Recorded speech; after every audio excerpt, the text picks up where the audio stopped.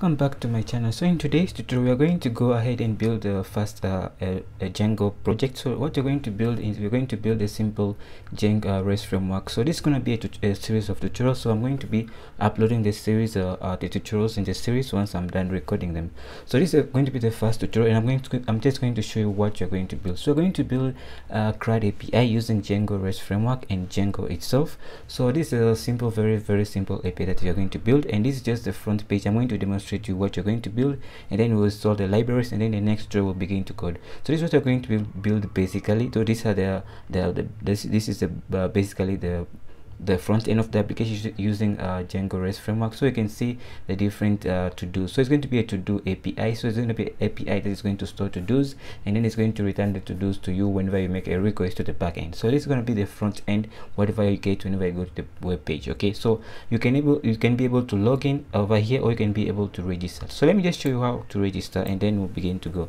So let me just show the registration. This is a register registration so if you sorry for that uh, made a mistake yeah so registration. So if you click on this registration route it will bring you to this route so you fill in your username maybe say hello uh, hello underscore world. And then here you fill in your password a bit. So i'm going to call my password uh, secret. And then i'm going to now call this uh, my, fill in my any email. So i can just fill in any email here. I can say test user. I can just say um, i can just say uh, maybe hello uh, hello world and then world like this and then I can go ahead and actually make a post uh, a post request. So I'm going to make a post request and that's going to submit the uh, the result to the back end and you're going to get the whatever you are sending back. So you can see we have our username right there and then we have our email followed by it. So we can go ahead and actually begin to log in. Let me show how to log in. So you just have to go in here and then you can just uh, supply your usernames again. So it's going to be uh, hello underscore world and then you can supply in here your your your your secret password then you can simply uh, log in. So this uh, uh, going to log us in and if you log in this is what you're going to get right now. This is going to uh, not return to anything. So what you're going to go you're going to go ahead and go to the front end. So if you go to the front end now be at the bottom here you can see we have this form and we can fill this form. When make a post request the form will be the data will be added right here. So let's go ahead and actually add that. Let's say uh go maybe say go to the gym or something like that go to the gym go to the gym and then here you can specify uh, go to uh, go to the gym uh, gym uh, maybe early early in the morning or something like that. And then we can go ahead here and you can see whether it's completed or not. So you can say it's not completed and we can provide in the date which you want uh, we want that to happen. So you can click on this and then we provide in the date. Let's say maybe sorry it's gonna be the 26 okay? And then we can go ahead hide and uh, click on submit okay? So if you click on submit you can see it has been uh, posted to our back and it has been returned to us. So if i just refresh this uh, sorry if I just go back uh, sorry if I just cancel this. And I'll just go back and you can see uh, it's here and we have it right here. You can see it has been added to the to-do. So that's how basically it. And then also we can get the, the specific to-do so if I do to tokens so if I do to-dos uh, to do's and then first like if I specify the ID of that to do and I submit you can see I have that to do right here uh, only that to do in the page. And I can update it and I can do different things. So you can say uh, in the in the afternoon. So in the afternoon just like that and then i can make a submit to the backend so i can just make a post request to the backend and it's going to be submitted to the backend and here i can go and actually delete that if i want. So i can delete it or i can do something so i can click on delete and it's going to delete it. So if i go back uh, to our to-dos and then i won't see that right there. So if i just click on to-dos uh, you can see it doesn't show up right there so that's basically it for it. So and you can also do you can also do tokens so you can do uh forward slash if you do forward slash api forward slash uh token i believe. So you can say token and then refresh this. Then you provide in your username and your underscore world. And then we can provide in our password here. Our password was a secret. And then we can just make a post request. And that is going to provide us a token access and uh, access and uh, refresh token. So that's basically the api that you're going to build using django uh, django rest framework uh, library. So we can also i'm also going to show you how to use this using postman. So postman will help you to do the same stuff in here. So you can do authentications we can do so you can we can authenticate ourselves and we can get back the access token the refresh token. You can get back the data that you are interested in. So that's what we're going to do in this tutorial so you guys. If you if you like this give it a thumbs up and subscribe to my youtube channel and i'll be posting the future videos.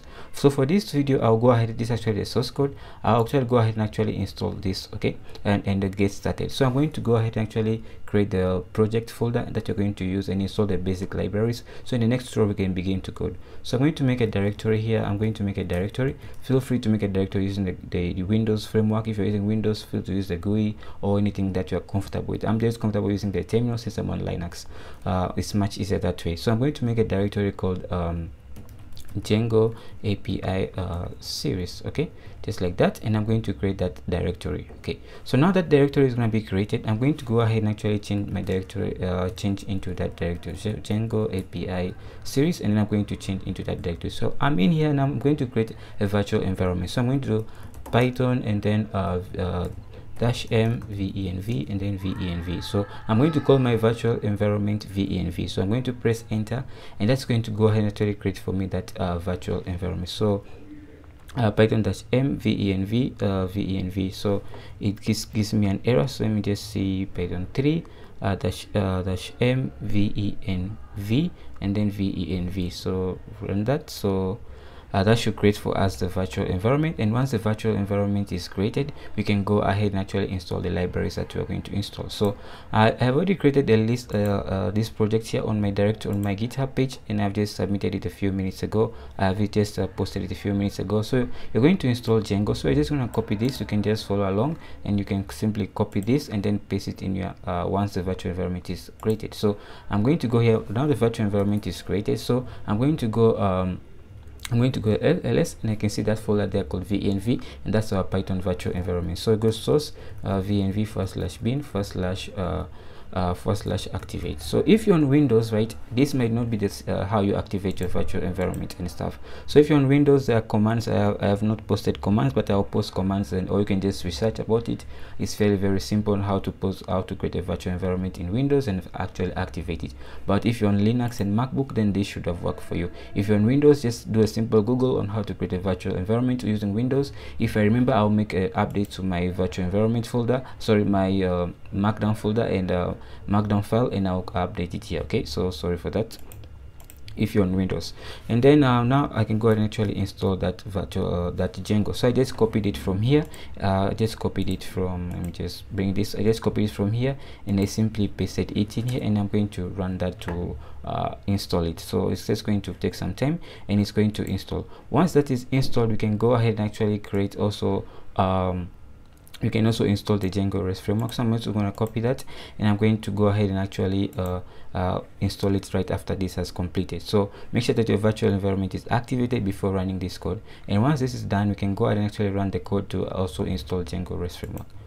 Once that's done, we can go ahead and actually begin to create our Django project and then begin to uh, set, start set up everything and then in the next tutorial begin to actually run things and then uh, begin to code. So now this django is installed. Great. So you can go ahead and actually install django rest framework. So django rest framework is a, uh, the, the framework that you're going to use for performing our backend uh, API stuff. So Django REST framework is a Django framework that is used for performing uh, CRUD functionality using our API. So it, uh, it provides us with a, a lot of uh, libraries and uh, stuff that are pre-built that we can just use uh, right off the box. So now we have installed Django. I'm going to go ahead and actually create an app called Django uh, admin start CRUD. So I'm going to go ahead and actually paste that here and you can find this on my GitHub page. So I'm going to go ahead and actually clear, click run that and then that's has, has already created for us a project called CRUD API. So Django hyphen admin start project and then you specify the name of the project. That's how you start a Django project. So so django hyphen admin start project start project is one word and then space and then uh, the name of that project. Okay i call my crud api you can call yours anything. So i'm going to change that directory into my crud api so i'm going to change directory into the crud. And then now that i'm in here i'm going to now run a command. So i'm going to say python manage python 3 python 3 uh, manage.py and then we can say uh, so we can go ahead here. Let me just go ahead and copy this from here so that we don't get any error. So we're going to create an app here called uh, start uh, start to do. So i'm just going to copy just this part. So it's just going to uh, bring that here. It's a django uh, Django, Python 3 manage.py and then manage.py is this file here. So we're going to say start app so we're going to now start our Django application. So I've created a folder a Django project which is called CRUD. And instead of that you're starting a Django app called uh, CRUD uh, called a to-do list. So that's basically it. So if I just clear my terminal I can do ls and I can see that folder right there. So we can go and actually start this app. So you can go Django uh, Python 3 and then you can go manage.py and then you can say um, run server. So you can go run server. This is how to start a development server in django. So this is going to start up a django server and it's going to run uh, i have I have a, an error so port is already in use. So the reason why port is already in use is because i'm running this here. So i'm just going to close this and then uh, clear this up and then uh, come back here and then i'll start this again. So i'm going to start this server again and it's running at localhost at port 8000 so they just copy this url and then paste it in your browser and then you can see that works. So i'm just going to paste it uh, create uh, create paste it right here. So i'm just going to select all of this and paste it right there and then press enter. And it's going to just bring us the default django setup uh, project. So i'm just going to paste that here.